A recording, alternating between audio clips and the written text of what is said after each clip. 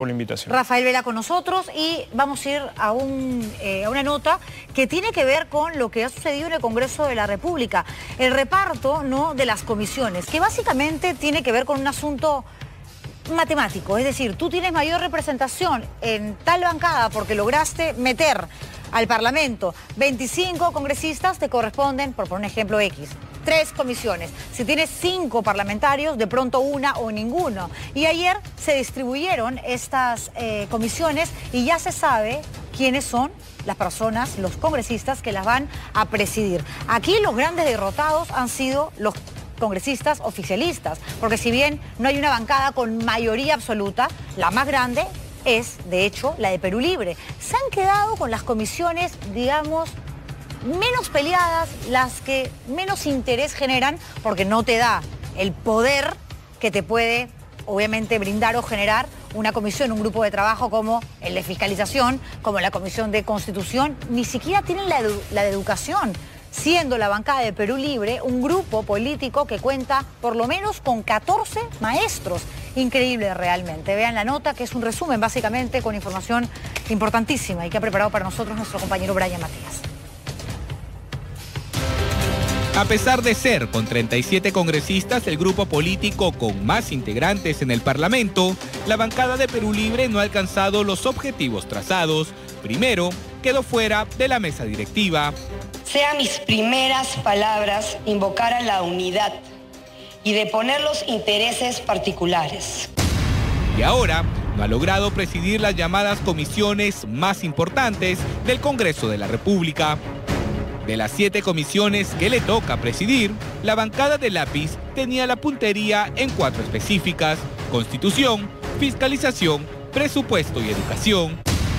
La comisión de educación es entregada al Partido de Renovación Popular, cuyos nueve potenciales presidentes, ninguno tiene el título ni de profesor, ni de profesora, ni de licenciado en educación. Ninguno. Sin embargo, la bancada de Perú Libre no obtuvo ninguna presidencia de los grupos de trabajo esperados.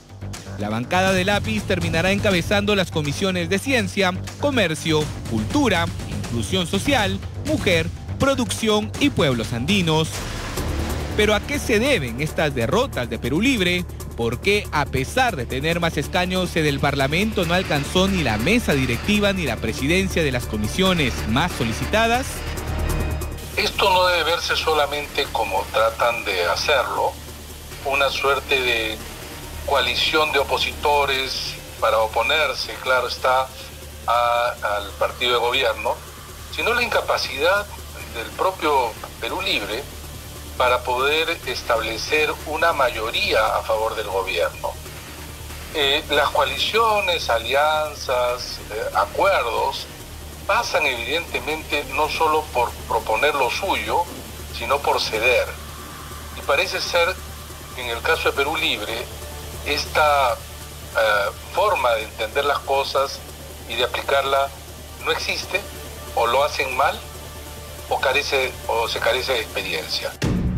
Para el politólogo de la PUC, Fernando Tuesta, la mala estrategia de Perú Libre en la distribución de las comisiones le pasará una alta factura en cuanto a sus proyectos de ley. Por lo menos las propuestas que son las más discutibles, las propuestas que, muchas, veces, aparecen abanderadas como principales, no van a pasar. Finalmente, la Comisión de Constitución estará encabezada por Fuerza Popular. La encargada de presidirla será la congresista Patricia Juárez. El ex oficial mayor del Congreso, José Chevasco, explica por qué este grupo de trabajo es uno de los más codiciados. Porque eh, muchos de los aspectos de carácter de reformas del sistema económico, sistema político, eh, tienen que pasar por la Comisión de Constitución.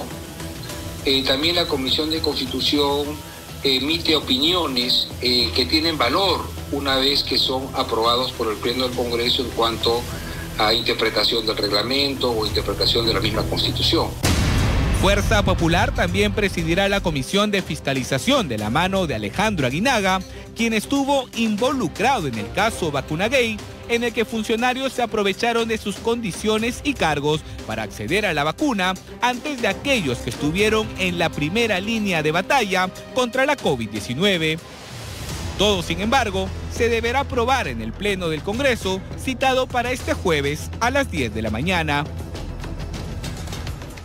Así están las cosas en el Congreso y hay situaciones que podrían también, podrían complicarse para algunos parlamentarios. Como